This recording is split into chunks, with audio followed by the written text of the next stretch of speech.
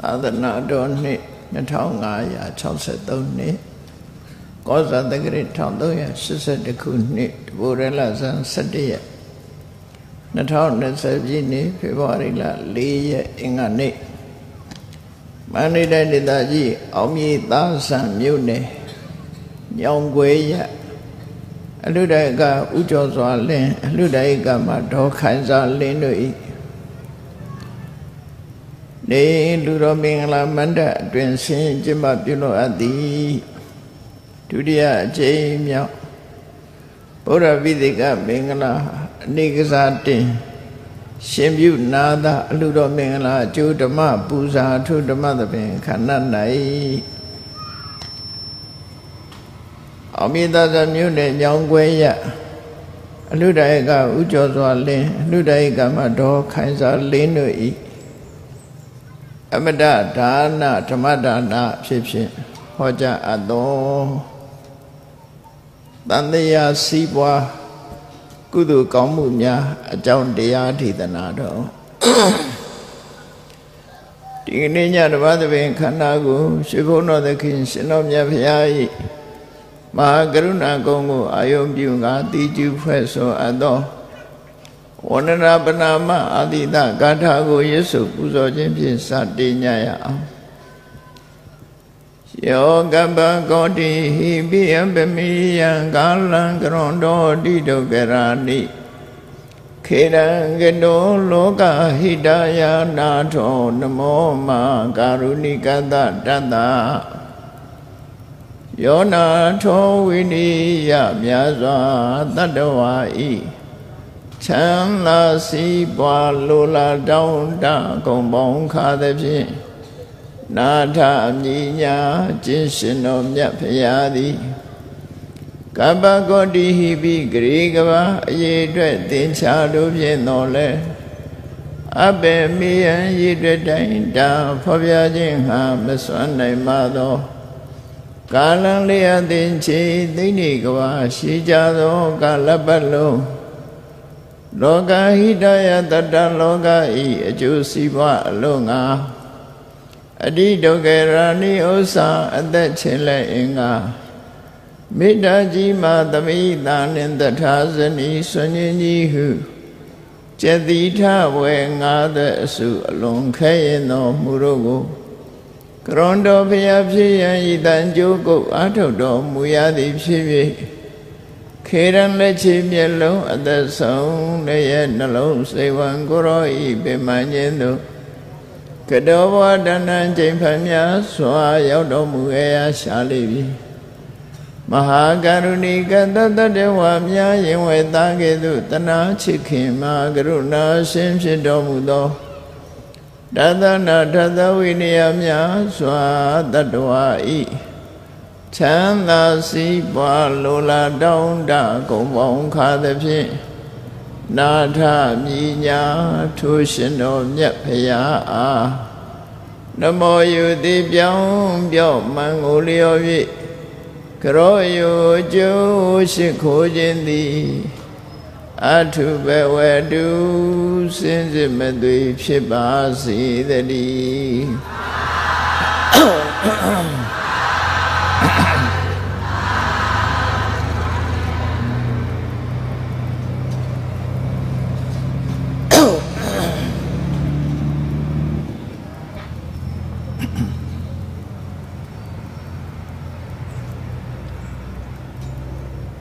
န်တရားစီးပွားကုသိုလ်ကောင်းမှုများလောကလူတွေဟာဘဝရလာလို့ရှိရင်ဘဝမှာသာဝတိပြည့်စုံမှုဆိုစီးပွားလုပ်ကြတယ်လူတိုင်းလူတိုင်းဟာစီးပွားလုပ်ကြတယ်စီးပွားလုပ်တဲ့အခါမှာ အဓိကပါဝင်တဲ့အချက်၃ချက်ကိုပြောရမယ်ဆို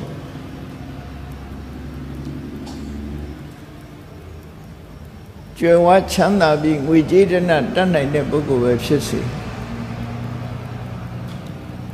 ရှင်ဤမြုံနှမှုလုပ်တဲ့အခါမှာသူများစီကကြွေးယူရတယ်ဆိုတာရှိတယ် နောက်ဆုံးမှလူစီကကြွေးယူတယ်မဟုတ်တော့ဘန်ကနေချီးပြီးတော့လှုပ်လှုပ်ကြတယ်ဒါကြွေးယူတယ်လို့ခေါ်ဘန်ဘန်ကနေငွေချီးပြီးတော့စီပွားလှုပ်ကြတယ်ကြွေးယူတယ်လို့ခေါ်ပြီးတဲ့အခါမှာအဲ့ဒီကြွေးတွေကိုပိတ်ဆက်ရတယ်ဆိုတာ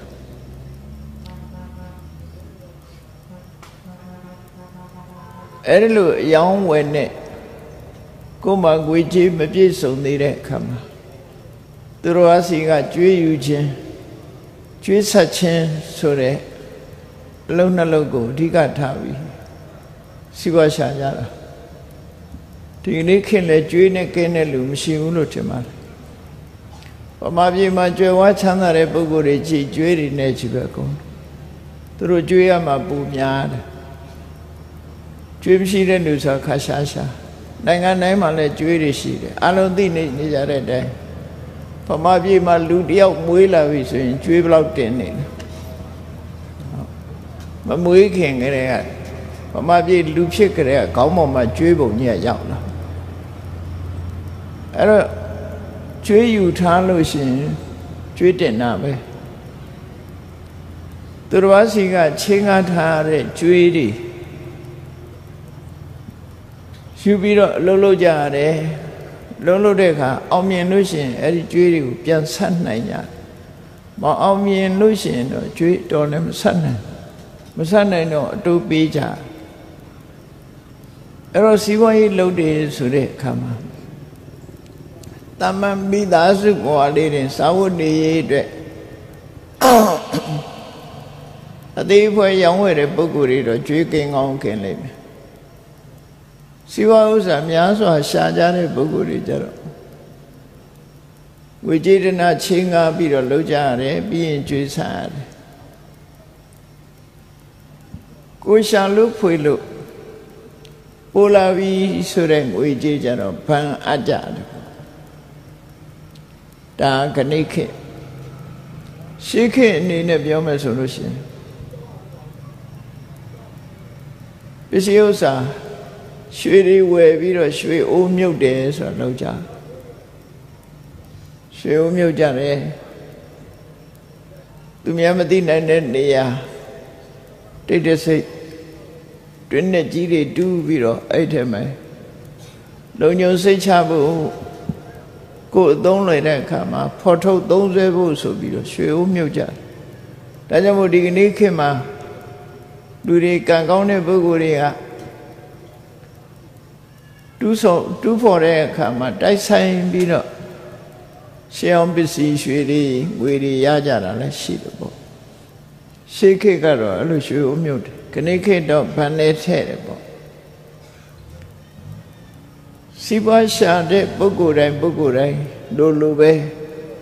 ကျွေးယူခြင်းကျွေးပိဆက်ခြင်း ရွှေအိုးမြုပ်ခြင်းတို့ပိုရှမ်းလာတဲ့ငွေတွေကိုသိသိချင်းဆိုဒီအလုပ်သုံးလို့ကိုလုပ်ကြအဲ့ဒါစီးပွားရေးဘွဲ့မှာခုလူသုံးမျိုးရှိတယ်လို့ပဲဒါနဲ့အလားတူတဲ့တန်တရားဘဝမှာလည်းပဲကျွေးပေးတာတို့ ကျွေးယူတာတို့ကျွေးဆက်တာတို့ရွှေအိုးမြုပ်တာတို့ဆိုတာလို့တင်လှုပ်ထိုက်တဲ့အလုပ်တစ်ခုလို့ဒီလိုပြောအောင်မှာဖြစ်တယ်အဲ့တော့ကျွေးယူခြင်းနဲ့ကျွေးပေးခြင်းဆိုတာတော့ကိုယ်ကပိုရှမ်းနေလို့ရှိရင်လည်းကျွေးပေးထားတယ်ကိုယ်ငွေကိုချေးငှားထားတယ်ပေါ့ချေးငှားတယ်ကိုယ်ကချေးယူတယ်နှမျိုးလုံးနိုင်တယ် ဝေဘုံငေရှမ်းရှိရင်သူများကိုချေးတယ်ကိုယ်မှငွေလိုနေရင်သူများစီကချေးချေးငှားပြီးတော့ယူတယ်အဲ့လိုရှိတဲ့ထဲမှာဘဝတန်တရားမှာလည်းပဲလောရမဲ့တာဝန်တရားအနေနဲ့လူတွေကလှုပ်လိလှုပ်ထားရှိကြတာဘာလို့တုံးဆိုရင်ငွေပိုငွေရှမ်းရှိနေလို့ ကျွေးယူခြင်းနဲ့ကျွေးပေးခြင်းဒီလုပ်ကိုလည်းလုပ်တယ်ကျွေးဆက်ခြင်းဆိုတဲ့အလုပ်ကိုလည်းလုပ်တယ်ရွှေအိုးမြုပ်ခြင်းဆိုတဲ့အလုပ်ကိုလည်းလုပ်တယ်အဲ့တော့ကုသိုလ်ကောင်းမှုနဲ့ပတ်သက်လာလို့ရှိရင်ဘယ်ဟာကကျွေးပေးတာဘယ်ဟာကကျွေးယူတာဘယ်အရာက ကျွေးပေးဆက်ပြီးတော့ဘယ်အရာကရွှေအိုးမြုပ်တာလို့ခေါ်နိုင်တယ်လေလောကလူတွေဘဝစီးပွားဖြစ်ဖို့အတွက်ငွေကြေးဒနာနဲ့ပတ်သက်ပြီးသုံးချတယ်လို့ပဲတန်တရားစီးပွားအတွက်လည်းပဲကုသိုလ်၃မျိုးလို့ပြောရမှာဖြစ်တယ်မလုံးမဖြစ်တဲ့လုံးနဲ့လုံးရက်တွေလူတွေဟာလောက်ကင်နေကြတယ် လူတိုင်းလူတိုင်းဟာလူဘဝရောက်လာပြီဆိုရင်ပထမဆုံးတွေ့ရတာတော့အမေနဲ့အဖေပဲအမေနဲ့အဖေနဲ့ပထမဆုံးတွေ့ရမယ်အဲ့ပထမဆုံးတွေ့ရတဲ့အမေဖေကကိုယ်ကိုဆောင်းလျှောက်တယ်ကျွေးတယ်မွေးတယ်ဝစားဆင်တယ်ဆိုတဲ့အလုပ်တွေကိုလုပ်တယ် ကိုလာတော့ကတော့တကူဒီပဲအဝတ်ပလာတကူဒီနဲ့လာခဲ့တာအပြင်ရောက်တော့မှမွေးမွေးချင်းအနှီးဆိုတာနဲ့ထုတ်တာပြီးတဲ့အခါကျဝစားဆင်မှုလုပ်ပြီးတော့ကိုလာတော့ကပတ်စံတပြားမှမပါသည့်အတွက်ကြောင့်ဘသူစီကကြွေးယူရတော့ဆိုမိဘစီကကြွေးယူရမိဘကကိုယ့်ကိုချင်းငှားလိုက်တဲ့ကြွေး ကြွေးတွေဟာကိုယ်ကယူပြီးသားဖြစ်သွားတယ်နော်ဘဝမှာကိုယ်ကပဲကျွေးတင်နေတဲ့လူတွေလို့ပြောအောင်မှာဖြစ်တယ်အိမ်ရောက်လာကြတဲ့ကကိုယ်ကကျွေးတင်ပြီးဘသူစီကျွေးတင်တော့ဆိုအမေဖေးစီကျွေးတင်သွားအမေဖေကအလကားကျွေးနေတယ်လို့ဆိုကြပေမဲ့လို့ဒီကျေးဇူးတရားတွေကရှိနေတယ်အဲ့တော့အမေဖေက ကိုရောက်လာကြတဲ့ကကိုအတွက်တာဝန်ယူတယ်ကျွေးတယ်မွေးတယ်ပြုစုဆောင်ရှောက်တယ်ကုန်ကြစိတ်ဆိုတာနဲတာမဟုတ်ဘူးဒါတွေမကသေးဘူးလူလမ်းမြောက်ဖို့အတွက်ပညာသင်ပေးရသေးတယ်ဝဆဆင်းယုံတော်ကပညာသင်ပေးရတယ်အဲ့ဒါတွေအားလုံးဟာကျွေးယူထားတာတွေကြီးပဲဒါကျွေးယူရတဲ့ဟာတွေကြီးပဲ အဲ့ဒီကျွေးတွေဟာကိုဆက်ရမှာပဲဖြစ်တယ်အဲ့ဒါကိုပြောတာမိဘခြေဆုဆက်တယ်ဆိုတာကျွေးဆက်တာပဲလားကိုကပြန်လေးတုံ့ပြန်ပြီးပေးဆက်ရမယ်အလုပ်တွေဖြစ်လာ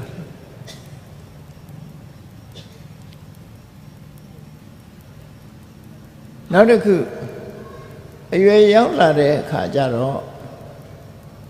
အိမ်တော်ရဲ့သားပြုတ်ကြပြန် အိမ်တော်ရသားပြုတ်ပြီးသားရီသမီးတွေနဲ့ဖြစ်လာတဲ့အခါကျတော့မိဘတွေကကိုယ့်ကိုကျွေးမွေးဆောင်ရှောက်ခဲ့တယ်လို့ပညာသင်ပေးခဲ့တယ်လို့ကိုသားသမီးကိုကိုယ်တခါပြန်ပြီးတော့ကျွေးမွေးဆောင်ရှောက်ကြပြန်တယ်အဲ့ဒါကြတော့ကျွေးပေးတယ်လို့ခေါ်ပြန်တယ်နော်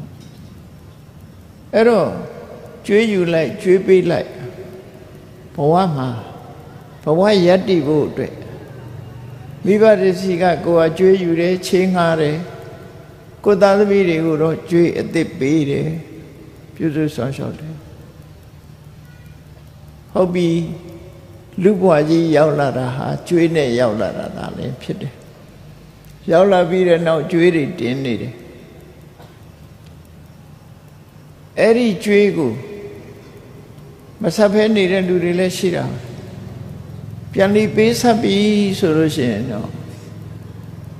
ကိုရှာဝေလို့ရတဲ့ပစ္စည်းဥစ္စာတွေကကိုယ်ပမာကျေးဇူးရှိခဲ့တဲ့မိဘတွေကိုပြန်ပြီးတုံးဆက်ပေးအပ်ရမှာတလှဲ့ကိုကတာဝန်ယူပြီးတော့မိဘကိုပြုစုတယ်အဲ့ဒီတလှဲ့ပြန်ပြီးတော့ကိုကပြုစုလို့ရှိရင် အဲ့ဒါကျွေးဆက်တယ်ဆိုကုသိုလ်ပြောပဲအကယ်၍မဆက်ဘူးဆိုရင်တာဝန်မကြည့်တဲ့ပုဂ္ဂိုလ်ဖြစ်တော့နော်အဲ့ဒီထဲကကိုစီးပွားရှာလို့ပူရှမ်းလာပြီဆိုရင်ဘာလုပ်ကြလဲဖះတဲတယ်ကြောင်ဆောက်တယ်အခုလိုမန္တကြီးထိုးပြီးအလှကြီးပေးကြတယ် နေ့စဉ်နဲ့အမျှဒါနကောင်းမှုတွေလုပ်တယ်ပစ္စည်းဥစ္စာတွေသုံးချအဲ့ဒါကြတော့ကျွေးနဲ့မဆိုင်ဘူးကျွေးဆက်တာလည်းမဟုတ်ဘူးကျွေးယူတာလည်းမဟုတ်ဘူးသူကြတော့ဘာခေါ်တော့ဆိုရွှေအိုးမြုပ်တယ်ကိုပိုးလာတဲ့ပစ္စည်းဥစ္စာတွေကိုရှင်းနှမြုံနှံမှုအတွက်သိမ့်ထားတဲ့ဘဝတန်တရားအတွက်လှုပ်တဲ့ကုသိုလ် ရွှေအိုးမြုပ်ထားခြင်းပဲလို့ပုံပန်းတရဉ္ဟာတူတူပဲလူဖြစ်လာလို့စီးပွားရေးလုပ်တော့မယ်ဆိုရင်ကြွေးယူရတယ်ချမ်းသာတဲ့လူကကြွေးပေးတယ်အဲ့ဒီကြွေးကိုသုံးချပြီးတော့ပြန်ပြီးပေးဆက်ရတယ်ပိုရှမ်းလာလို့ရှင်ရွှေအိုးမြုပ်တယ်ဒါက တကယ်လက်တွေ့စီးပွားရေးမှာလုပ်နေတာအဲ့ဒါလို့ပဲတန်တရားစီးပွားအနေနဲ့ကလည်းပဲကျွေးပေးခြင်းကျွေးဆက်ခြင်းကျွေးယူခြင်းရှိုးမြုပ်ခြင်းဆိုတဲ့အလုပ်တွေကိုတို့တွေလုပ်နေကြတယ်ဆိုတာကိုတတိထားဖို့လို့ဒီကနေ့မနက်ထဲမှာအလှကြီးပေးနေတယ်ဆိုတာရှေးအိုးမြုပ်ခြင်းပဲဖြစ်တယ် ကိုရှိလာတဲ့ပစ္စည်းဥစ္စာတွေကိုနောင်ဘဝချမ်းသာဒုက္ခအတွက်အသုံးလိုတဲ့အခါမှာချမ်းသာဒုက္ခအတွက်ရရှိဖို့အတွက်ရှင်းနှီးမြုံနှံမှုသို့မဟုတ်ရွှေအိုးမြုပ်ခြင်းပူလျံလို့ဘန်ကိုအထားခြင်းဆိုတဲ့သဘောကိုပိုင်တဲ့ပစ္စည်းဥစ္စာတွေကိုယဉ်နှီးပြုပြီးတော့ ဒါနကောင်းမှုပြုချတာဒါရီရဲ့အကျိုးကနောက်အသုံးလို့တဲ့အခါမှာပြန်ပြီးတော့ပေါ်လာဒါမို့ဒီလိုရွှေဦးမြုပ်တယ်ဆိုတာဟာမြတ်စွာဘုရားကနိတိကန္တသုံးမှာဆိုရင်ကိုရှိလာတဲ့ပစ္စည်းဥစ္စာတွေကိုတဲ့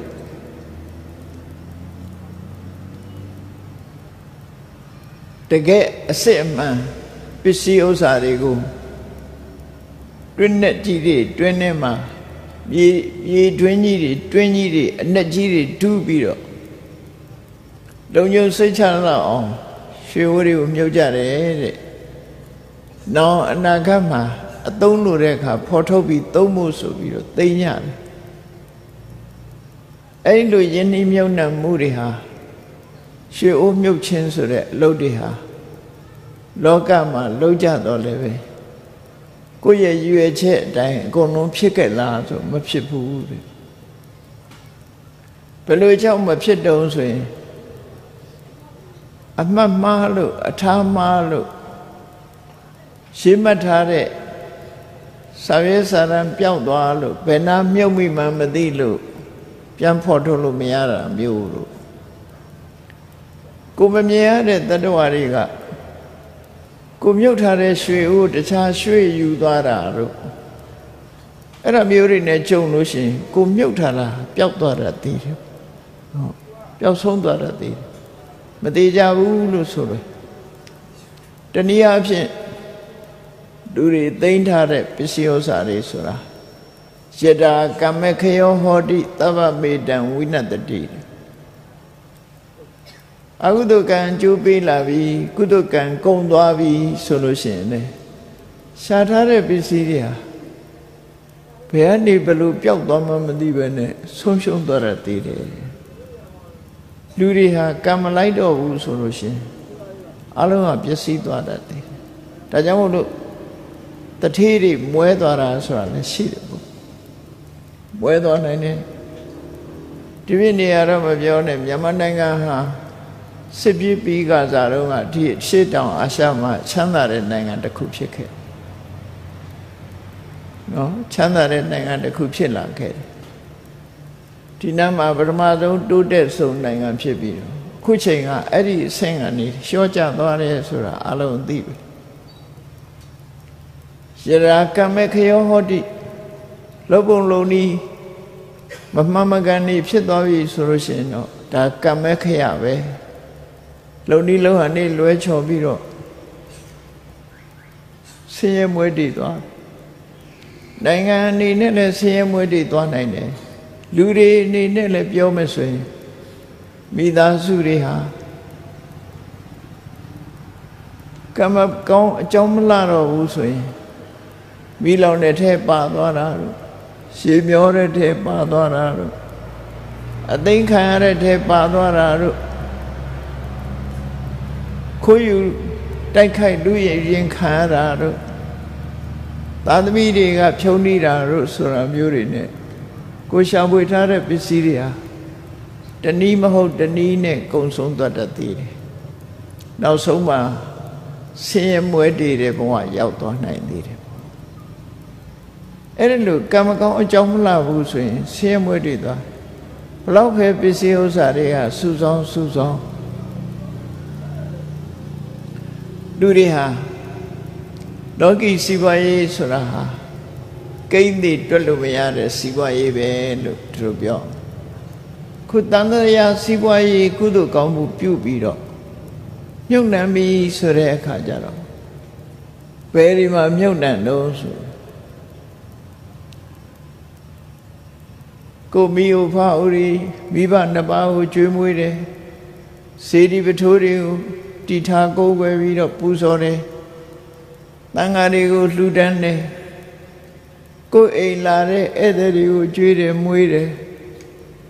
ကိုယ်ဆွေမျိုးတွေတဲကတည့်ရွယ်ကြီးတဲ့ပုဂ္ဂိုလ်တွေကိုကုညီထောက်ပံ့တယ်ဆိုတဲ့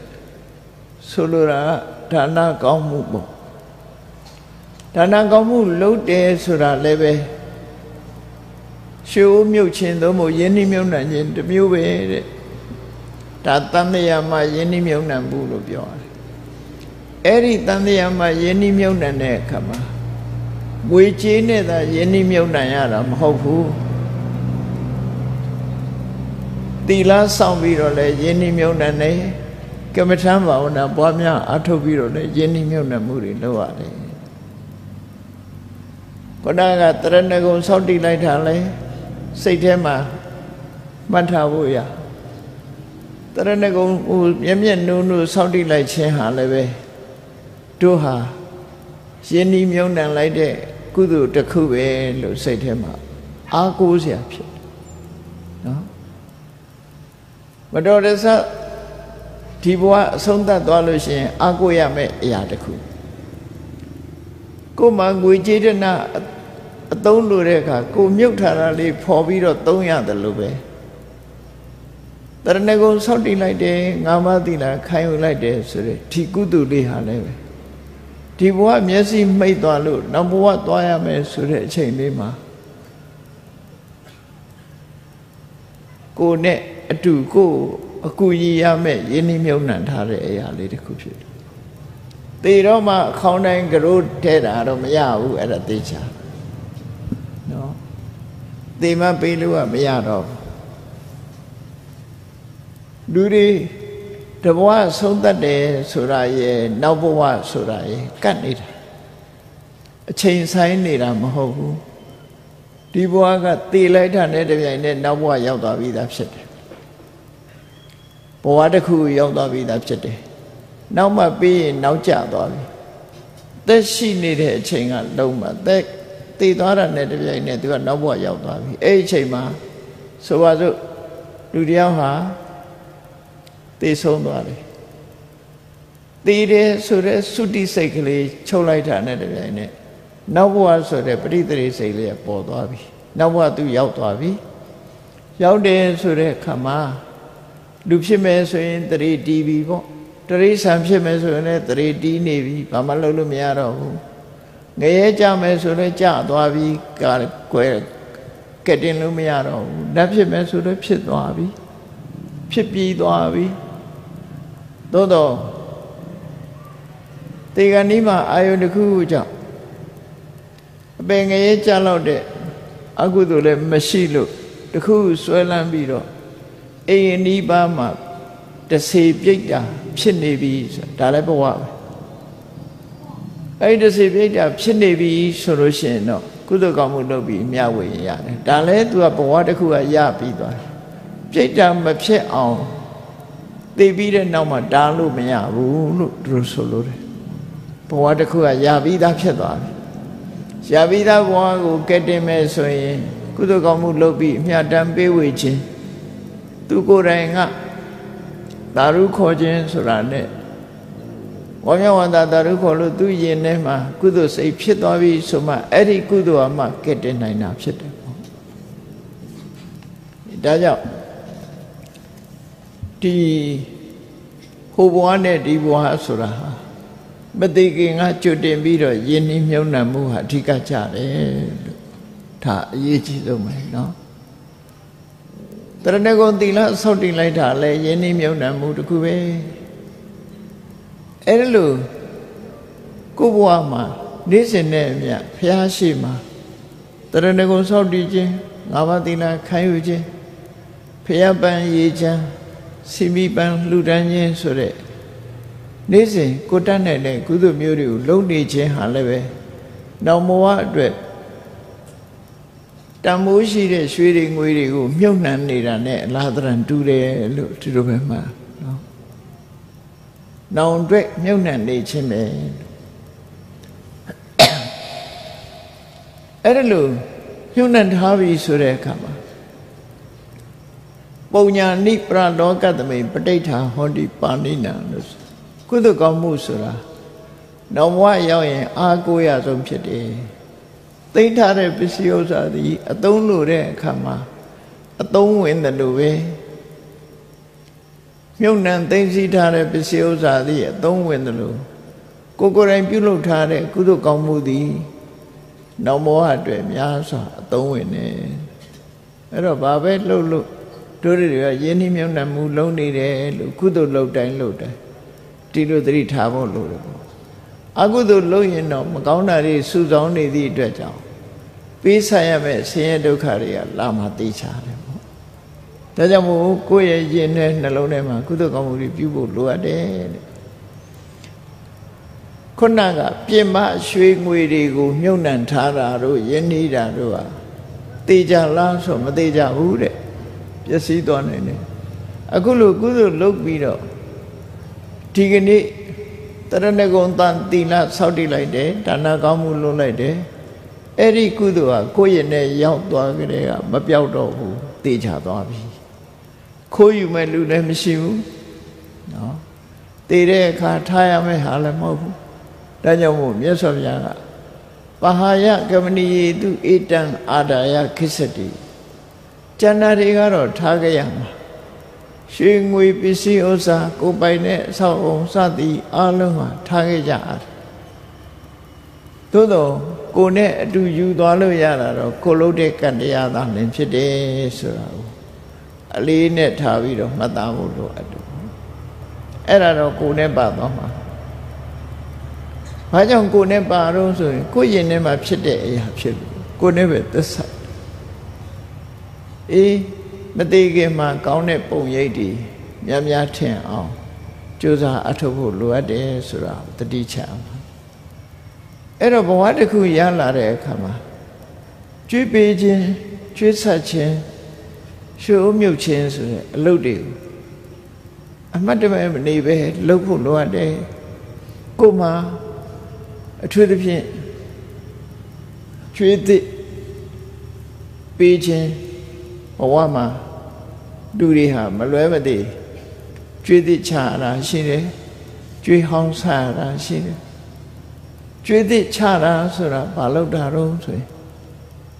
မိသားစုအိမ်အောင်ပြုတဲ့အခါမှာမိသားစုဘဝမှာကိုယ့်ကိုမိပြုပြီးတော့ရောက်လာတဲ့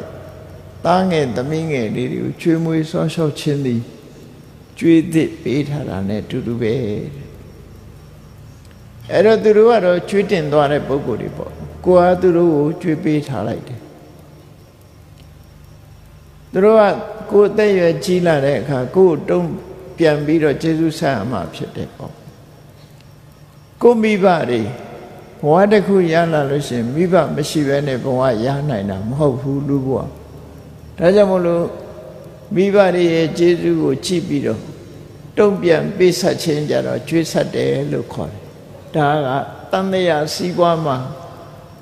လှုပ်တဲ့လှုပ်ထိုက်တဲ့ကုသိုလ်ကောင်းမှုပဲ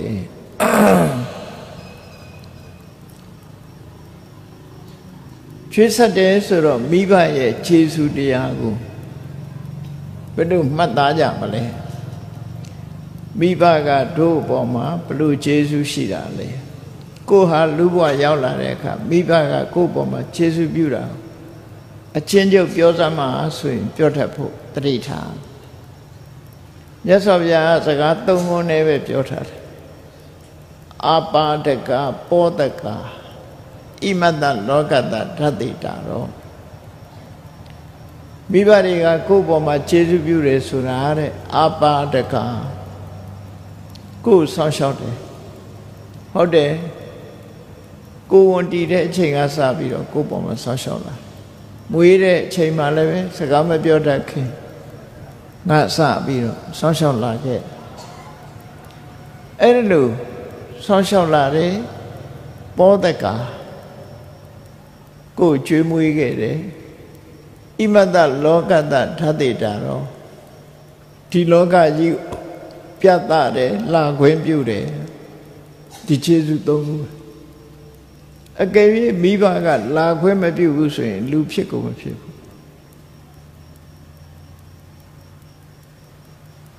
ဒီကနေ့ခေတ်ကြတော့မလာဖို့တားနေကြတာတွေရှိတယ်လေနော်မိဘကအလားမခံတာတွေရှိတယ်ဆိုတာတတိထားကြည့်လူဖြစ်ဖို့ဘလောက်ခက်လဲဆိုတာစဉ်းစားကြည့်ကိုကတားတဲ့မိဘစီရောက်သွားရင်ကိုအတားခံမှာလူဘဝရောက်မှာငို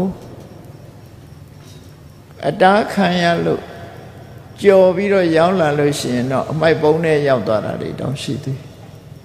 နော်ဒါကြောင့်မို့မိဘရဲ့ခြေစွတရားကိုဟာလူဘဝကို အောင်မြင်မြင်ရောက်ရှိလာခဲ့ခြင်းဟာအဗ္ဗဓမ္မခြေစွကြီးတယ်လို့စိတ်ထဲမှာမှတ်သားထားပါကယ်၍တားခံလိုက်ရရင်ကိုဟာလူဖြစ်ဖို့မရှိတော့အဲ့တော့လူဖြစ်လာတဲ့ဆိုကြတဲ့မိဘရဲ့ခြေစွတရားကိုမမေးရမှာဖြစ်တယ်ပေါ့ခြေစွဆိုတာတုံ့ပြန်ပေးဆရတဲ့အရာ ကျွေးတင်တာလို့ပဲတုံ့ပြန်ပြီးတော့ပေးဆမယ်မိမိကိုယ်တိုင်ရှာဖွေလာတဲ့ပစ္စည်းတွေနဲ့မိဘကိုကျွေးရမယ်မွေးရမယ်စောင့်ရှောက်ရမယ်ကိုယ်အနေနဲ့တာဝန်ယူရမယ်ဆိုအဲ့ဒီမိဘကိုကျွေးမွေးစောင့်ရှောက်တာဝန်ယူခြင်းကိုမြတ်စွာဘုရားကတန်မိုးထားလို့မင်္ဂလာကုသိုလ်တစ်ပါးဖြစ်နေဟောခဲ့တာဖြစ်တယ် ပညာရှိတွေသူတော်ကောင်းတွေလက်ခံပြီးတော့ကျင့်သုံးခဲ့တဲ့ကုသိုလ်ကောင်းမှုအနေနဲ့လည်းမြတ်စွာဘုရားဟောတယ်တရားမင်းကြီးတို့စိုးစံတဲ့တာဝရိန္ဒနတ်ပြည်ကနတ်တွေကလည်းပဲမိဘကိုပြုစုတဲ့ပုဂ္ဂိုလ်သူတော်ကောင်းလို့သတ်မှတ်တယ်။ဟောအဲ့တော့မိဘကိုပြုစုတဲ့လူကိုသူတော်ကောင်းလို့သတ်မှတ်ရင်မိဘကိုမပြုစုဘူးဆိုရင်သူယုံမှလို့သတ်မှတ်တယ်ဆိုအဓိပ္ပာယ်ရ။ ဒါကြောင့်မို့ကိုကမိဘကိုတုံ့ပြန်ပြီးတော့ကြွေးမွေးဆောင်းရှောက်ပြီးဆိုရင်စိတ်ထဲမှာတို့ဟာကြွေးပေးဆက်နေရတယ်ဆိုတဲ့အဓိပ္ပာယ်ကိုမှတ်သားထားဖို့တုံ့ပြန်ပြီးတော့ကြွေးဆက်ခြင်းပဲအကယ်၍မဆက်ဘူးဆိုလို့ရှိရင်ကိုဟာကြွေးတင်တဲ့ဘဝမှာနေသွားတယ်တောင်းမကြေတဲ့ဘဝရောက်သွားနိုင်အဲ့တော့ကြွေးပေးဆက်ခြင်းဟာ လောကမှာသူများစီကချင်းမေးပြီးမပေးတဲ့လူဟာလူကောင်းမဟုတ်ဘူး။နောက်လည်းသူများစီကချေလို့ရမှာမဟုတ်ဘူး။သူများရဲ့ကြွေးတွေကိုပြန်ပြီးပေးဆက်တဲ့လူမှရှိုးသားသူလူတော်လူကောင်းဖြစ်သတ်မှတ်ကြတယ်။အဲ့ဒါလိုပဲမိဘကမိဘကိုပြန်ပြီးပြီးတော့ကြွေးဆက်တဲ့အနေနဲ့ပြုစုတဲ့ပုဂ္ဂိုလ်မှလူတော်လူကောင်းလို့သတ်မှတ်မှာဖြစ်တယ်။ မိဘကိုပြန်တုံးပြန်ပြီးတော့ကျေးဇူးမဆက်ဘူးဆိုရင်ဒီလူဟာလူကောင်းမဟုတ်တော့ဘူး။ကြာကြာမို့ကြွေးဆက်ခြင်းဆိုတာလောက်ရမှာဖြစ်တယ်ဘဝမှာကိုယ့်ရဲ့ရှင်သွေးသားသမီးတွေကိုပြုစုဆောက်ရှောက်ခြင်းဆိုတော့လေလုံးရမယ်လုံးတစ်ခုပဲကိုယ်ကိုဆောက်ရှောက်လာခဲ့တဲ့မိဘတွေကို တုတ်ပြန်ပြီးတော့ဆောက်ရှောက်ခြင်းဆိုတာလေလှုပ်တင်လှုပ်ထိုက်တဲ့ကုသိုလ်တစ်မျိုးပဲကိုသားသမီးကိုကိုကျွေးတာဟာကုသိုလ်မရဘူးလို့ဒီလိုဆိုတာမဟုတ်ဘူးကုသိုလ်ရတယ်ကိုသားသမီးကိုကိုကျွေးမွေးဆောက်ရှောက်ခြင်းကကိုကချွေးသေးချတဲ့အနေနဲ့လှုပ်တင်လှုပ်ထိုက်တဲ့လုပ်ငန်းကုသိုလ်လုပ်ငန်းတစ်ခုပဲကိုမိဘကိုပြန်လီပြီးတော့ဆောင်းလျှောက်ခြင်းဟာလည်းပဲလှုပ်တင်လှုပ်ထိုက်တဲ့ကုသိုလ်ကောင်းမှုတစ်ခုပဲ ထိတဲ့အပြင်ဒါနကောင်းမှုသီလကောင်းမှုမိဘခြေဆုနဲ့မဆိုင်မဲနဲ့ကိုရင်ထဲကသရတရားစေရနာစွမ်းအားတွေနဲ့ဒါနကောင်းမှုလုပ်တယ်သီလဆောက်တည်တယ်ဆိုအဲ့ဒါတွေကြတော့ရွှေအိုးမြုပ်နှံတယ်လို့တန်တရားခရီးမှလည်းပဲအရေးတကြီးကတော့ကုသိုလ်ကောင်းမှုမပြုဘဲနေမရနိုင်ဘူးကုသိုလ်ကောင်းမှုပြုအောင်မှာဖြစ်တယ်ဆိုတာကိုမသာဖို့လိုအပ်တယ် ဒီအဓိပ္ပာယ်တွေကမြတ်စွာဘုရားဟောကြားတဲ့ဇာတကအတေသနာမှာလူတွေရဲ့ယင်ထဲမှာဆွဲသွားအောင်ဇလံလေးတစ်ပုဒ်နဲ့မြတ်စွာဘုရားဟောခဲ့တာသင်္ကန်းစာပေးခဲ့တာကျွေးသစ်ပေးခြင်းဒါသာသမီတွေကိုဆောင်းလျှောက်တာကျွေးဟောင်းပေးဆက်ခြင်းမိဘကိုကျေးဇူးဆက်တာရွှေအိုးမြုပ်ခြင်း ကုသိုလ်ကောင်းမှုလုပ်တာအဲ့ဒါတန်တရားစီးပွားကုသိုလ်ကောင်းမှုများလို့ဆိုဒီသုံးခုကိုပြောတာနော်အဲ့ဒါနဲ့ပတ်သက်ပြီးတော့950ဇတ်တော်ထဲမှာတာလိကေတာရဇတ်ဆိုတာရှိတယ်လောကလူတွေလှုပ်တဲ့လှုပ်ထိုက်တဲ့ကုသိုလ်၃မျိုးကိုမြတ်စွာဘုရားကသင်္ကန်းစာပေးဖို့အတွက်ဒီဇက်ကိုခေါ်ခဲ့တာဖြစ်တယ်ပေါ့ ဇလန်းလေးကိုကျဉ်းညွတ်ပြောရမယ်ဆိုရင်မဂရတိုင်းမှာမဂရမြို့တော်ရဲ့အရှိမြောက်ထဲမှာသာလိဒိယဆိုတဲ့ပုံနာရွာကြီးတရွာရှိတယ်ပုံနာလူမျိုးတွေနေလို့ပုံနာရွာလို့ခေါ်တယ်အဲ့ဒီရွာမှာလေပန်းရှင်တထေးကြီးရှိတယ်လေပေါင်းဧကပေါင်းမြောင်များစွာချမ်းသာတယ် သူကိုယ်တိုင်လှုပ်တဲ့လေရလည်းမနေဘူးသူများကိုအငှားချထားတဲ့လေတွေလည်းရှိတယ်အဲ့ဒီလေရဲ့ဟိုဘက်ကိုကြည့်လိုက်မယ်ဆိုရင်လက်ပံပင်နေပေါက်နေတဲ့လက်ပံတော်အုပ်ကြီးတစ်ခုရှိတယ်ဒါအနေထားတွေကိုဖော်ပြအဲ့ဒီလက်ပံတော်ထဲမှာကျင်းငှက်တွေများစွာနေထိုင်ကြတာဖြစ်တယ် အဲ့ဒီနေထားမှာသူဟာလေစဘာတွေကိုစိုက်ပျိုးလေယာတွေကိုပြိုးထောင်စိုက်ပျိုးပြီးတော့စဘာတွေမှဲ့တဲ့အချိန်ရောက်လာပြီဆိုတဲ့အခါဘာလို့လဲဆိုရင်လက်ပမင်တော်ကချင်းငှက်တွေဟာသူ့လက်ထဲကိုရောက်ရှိပြန်တန်းလာကြပြီးတော့မဲ့နေတဲ့စဘာကင်းကစဘာတွေကို စားကြတယ်အကောင်ကြီးအလွန်များတဲ့ချင်းခက်တွေအုပ်လိုက်ကြီးကြလာပြီးတော့စားတာ၆လို့မနိုင်လောက်အောင်ရှိတယ်ပေါ့၆လို့မနိုင်ဘူးချင်းခက်တွေကအလွန်ရဲတယ်ဟိုနာ၆ဒီနာကြအဲ့ဒီလိုလေဆောင်ကချင်းခက်တွေကို မောင်းထုတ်တော့လဲမနိုင်တော့ဘူးထူးထူးခြားခြားအဲ့ထဲမဲ့ဒေါင်းလောက်ကြီးတဲ့ချင်းခက်ကြီးတကောင်ပါတယ်အဲ့ဒီကောင်ကြီးကဆိုရင်သူလဲဝါအောင်စားတယ်ပြန်သွားတဲ့အခါကျတော့စပယ်နှံနေကိုခြီးပြီးတော့သွားတယ်စားလို့တဲ့အာမရဘူးတည်သွားတယ်တချို့လဲလှုပ်တတ်တယ်အဲ့ဒါမျိုး အလူမန္တထမင်းကျွေးကိုလာပြီးတဲ့အခါကျဂျိုင်းဆွဲသွားတာဆိုတာမျိုးနဲ့တူတယ်ပေါ့နော်ဒီမှာလဲစားတယ်ပြီးတော့ဂျိုင်းလဲဆွဲသွားတယ်ပေါ့အဲ့ဒီကြီးကြီးကလည်းပဲဂျိုင်းဆွဲသွားတဲ့သဘောပဲသူလဲဝအောင်စားတဲ့စပယ်နန်းလေးကိုသူ့နှုတ်သီးနဲ့အကုန်လုံးကိုက်ချီပြီးတော့ပြန်သွားတယ်လေဆောင်ယောက်ျားကနိုင်အောင်မမောင်းနိုင်တဲ့အခါသူ့ကိုရောချေးတောင်းမှကြောက်တော့ လေပိုင်းတတိကြီးစီသွားပြီးတော့ဒီအကျိုးကြောင့်တွေကိုပြောတယ်သူကျင်းခဲ့တည်ကြလာတာသူတယောက်တည်းနဲ့မနိုင်တော့ဘူးမထိန်နိုင်တော့ဘူးအဲ့ဒီမဲ့ထူးထူးခြားခြားဒေါင်းလောက်ရှိတဲ့အကောင်ကြီးကသူအာရပါရစားရုံနဲ့မကဘူးပြန်ကြတော့လဲဆိုဝါပင်နေစပယ်နှန်းလေးကိုချီးပြီးချီးပြီးတော့သွားတယ်သူမောင်းတာလည်းမရဘူးဒီကောင်ကြီးကမကြောက်ဘူးလို့ လည်းပဲရှင်ပုံနာကြီးစီသွားပြီးတော့တိုင်တန်းတယ်အဲ့တော့လည်းပဲရှင်ပုံနာကြီးကသူ့ကိုပြောတော့မင်းကြော်ကွင်းထောင်တတ်သလားဆိုထောင်တတ်ပါတယ်ဒါဖြင့်လော့ကွာကြော်ကွင်းအဲ့ဒီကျင်းခက်တွေကြလာတဲ့နေရာမှာမင်းကြော်ကွင်းတွေထောင်တာအဓိကကတော့အဲ့ဒီဒေါင်းလောက်ရှိတဲ့ကျင်းငယ်အကြီးကြီးဆင်းတဲ့နေရာကိုမင်းအဓိကထားပြီးထောင်းလို့ဆိုကြော်ကွင်းထောင်ခိုင်းလိုက် ကြော်ကွင်းလှုပ်တဲ့အခါနွားမီးတို့မြင်းမီးတို့လိုဟာမျိုးပေါ့ဖြတ်လို့မလွယ်တော့အောင်ခိုင်မာတဲ့ကြော်ကွင်းတွေလှုပ်ခိုင်းတာလေကွင်းထဲမှာထည့်ထားတယ်နောက်ရက်ကြတော့ကြီးရီချင်းငက်တွေပြန်တန်းချလာပြီးတော့စပယ်နန်းတွေကိုစားကြပြန်တယ်အဲ့ဒီဒေါင်းလောက်ရှိတဲ့ကောင်းကြီးကတော့သူဆင်းနေကြနေဟာဆင်းလာဆင်းစင်ချင်း သူ့ခြေတော့ကြော်ကွင်းကဆွတ်မိသွားအဲ့ကောင်ကြီးကြော်ကွင်းမိသွားသို့တော့သူကကျင်းငက်ထဲမှာခေါင်းဆောင်ဖြစ်တော့တခြားကျင်းငက်တွေခုချိန် तू online လို့ရှိရင်အစာမစားရမှဆိုလို့အသာလေးသူ့ခြေတော့ချိတ်ပြီးတော့ယုံနေတယ်ယုံလို့မရဘူးမအော်ဘူးနောက်ဆုံး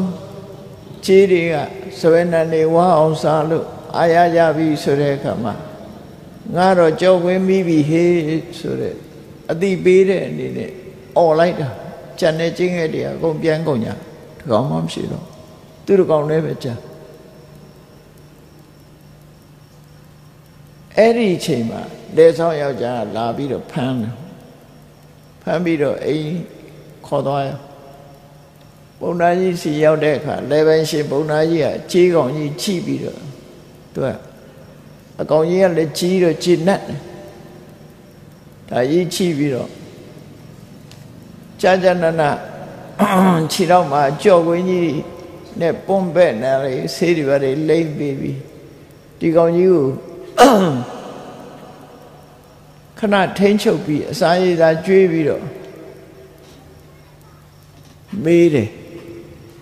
နော် ဟောဒီလေဆောင်ယောက်ျားကပြောတယ်တဲ့မင်းဟာစပယ်နန်နေစားယုံနေမကဘူးခြိုင်ဆွဲသွားတယ်လို့ပြောတယ်နော်စပယ်နန်စားယုံနေမကဘူးနှုတ်သီးနဲ့စပယ်နန်နေအများကြီးချိချိသွားတယ်လို့ပြောတယ်အဲ့တော့မင်းဟာခိုးတော်ဆောက်ထားဖို့ စဘာတွေကိုတည်ပြီးတော့အယောင်းဝယ်လှုပ်ထားလားသို့မဟုတ်ခိုးတော်ဆောက်ထားတာရှိလို့လားလို့ပုံနာကြီးကမေးတဲ့အခါကျတော့ကျင်းခဲ့ဆိုတာလူဘာသာစကားလည်းပဲအလွယ်တကူနဲ့ပြောတတ်တဲ့တရားမျိုးတွေကိုနော်ပြောတဲ့အခါကျတော့သူပြောတဲ့စကားတော်တော်ထူးဆန်းသွားသူဘာတော့ဆို ကျွန်ုပ်ယူသွားတာဟာတခြားမဟုတ်ပါဘူးတဲ့ကျွန်ုပ်ဟာကိုယ်တော်လဲဆောင်ထားပါဘူးရောင်းဝယ်လည်းမလုပ်ပါဘူးတဲ့ကျွန်ုပ်ယူသွားတဲ့စပယ်နန်နေတဲ့ကတချို့ကိုကျွေးသိချရပါတယ်တဲ့တချို့ကိုတော့ကျွေးဟောင်းဆက်ရပါတယ်ကြံတဲ့ဟာကိုတော့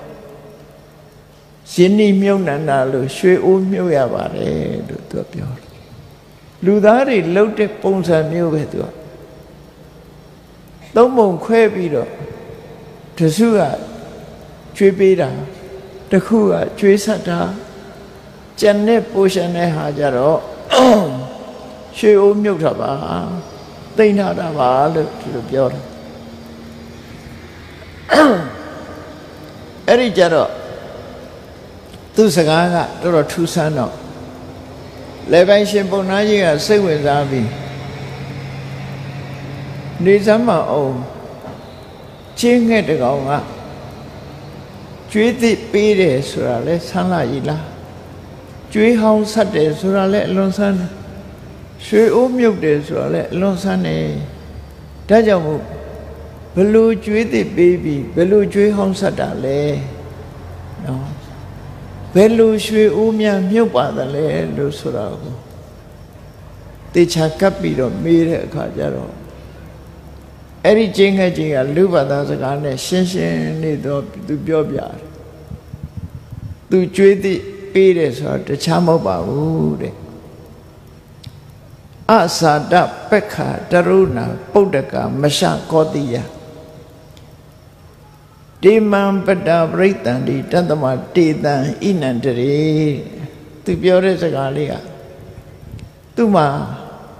သားငယ်သမီးငယ်လေးတွေရှိသေးတယ်တဲ့အတောင်မပေါက်ကြသေးဘူး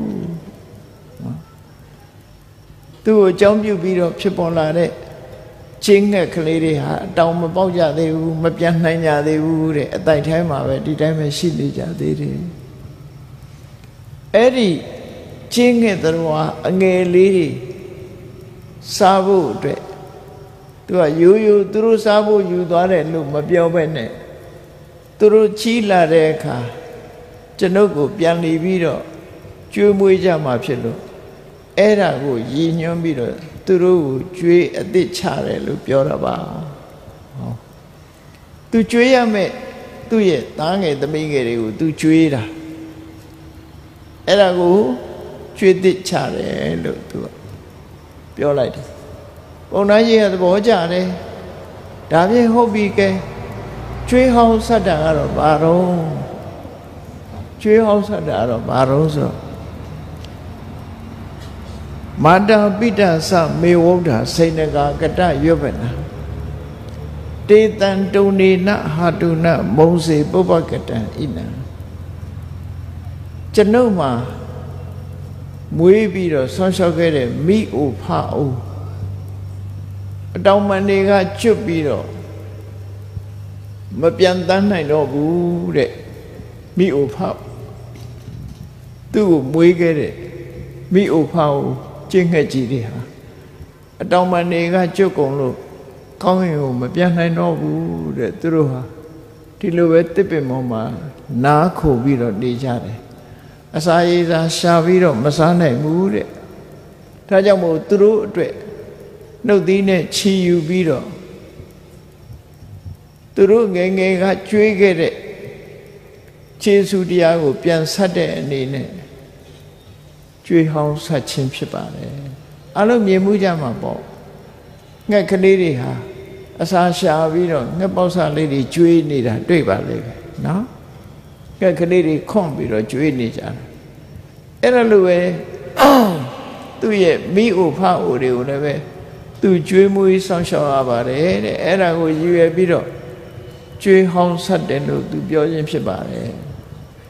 လေပဲရှင်ပုံနာကြီးကသဘောကြီးကြဟုတ်သားပဲလူတွေတောင်မှတခါတလေလိုလှုပ်တာမရှိဘူးသူကဒါကြေးဟောင်းဆက်တယ်ဒါဖြင့်ဟုတ်ပြီရွှေအိုးမြုပ်တာကြတော့ဘလို့လှုပ်တာလဲ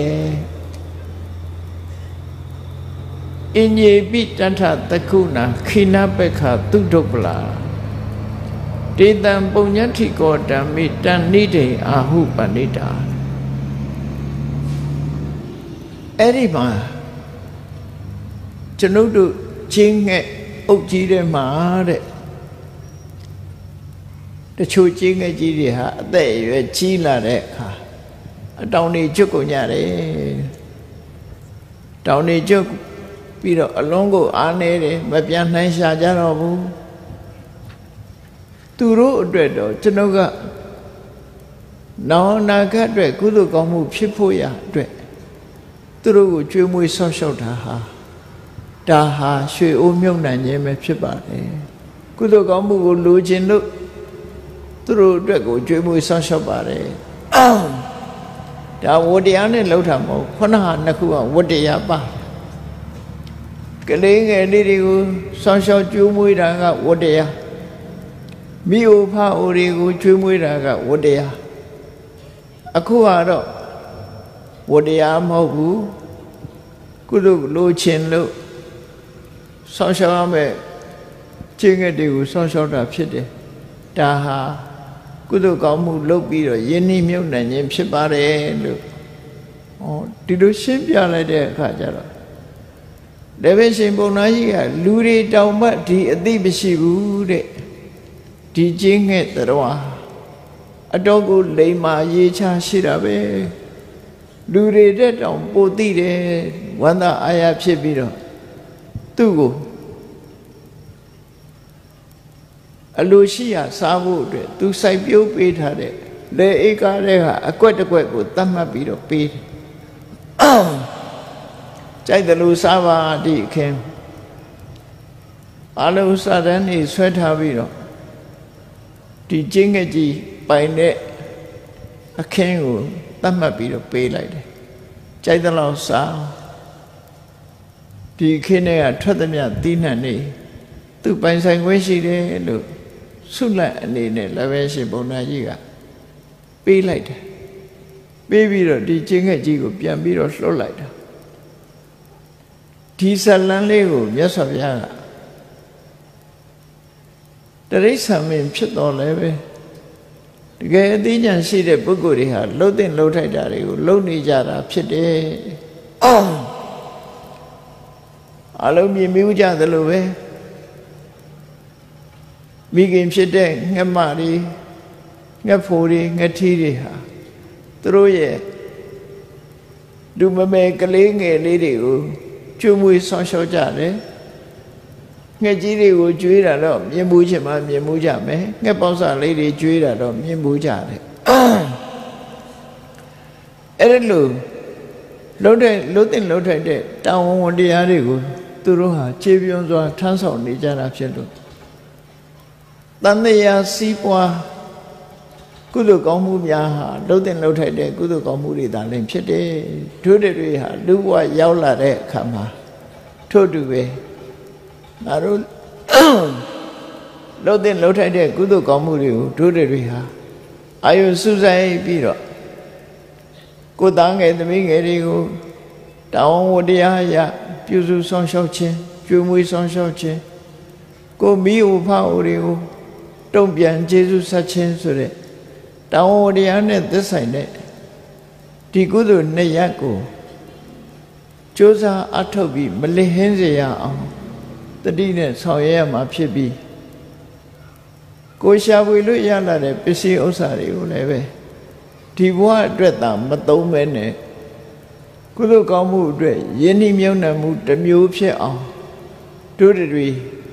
ရွှေအိုးမြုပ်ခြင်းဆိုတဲ့ကုသိုလ်ကောင်းမှုလုပ်တဲ့အလုပ်ကိုလုပ်ရမှာဖြစ်တယ်လို့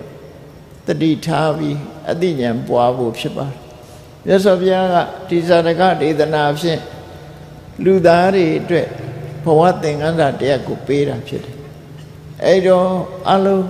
တရားချစ်ခင်သူတော်စင်ပြိဿတ်တို့တို့တွေလုံးတင်လုံးထိုက်တဲ့ချွေသစ်ပေးခြင်းဆိုတာလုံးကြရဲ့လားချွေဟောင်းဆက်ခြင်းဆိုတာကိုလုံးကြရဲ့လားရွှေအိုးရောမြုပ်ကြပါရဲ့လားဆိုတဲ့ဒီမေးခွန်းတွေကိုကိုယ့်အကိုပြန်မေးပြီးတော့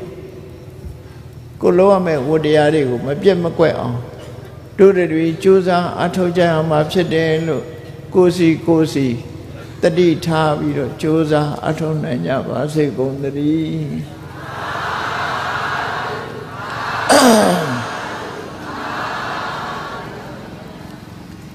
မေတ္တာပွေရအောင်တတဝါများစွာဖေးရန်กว่าချမ်းသာကြပါစေ တတဝါများစွာဖေးရန်กว่าချမ်းသာကြပါစေမေတ္တာရေချမ်းသုံးငါဖြံငြိမ်းချမ်းကြပါစေမေတ္တာရေချမ်းသုံးငါဖြံ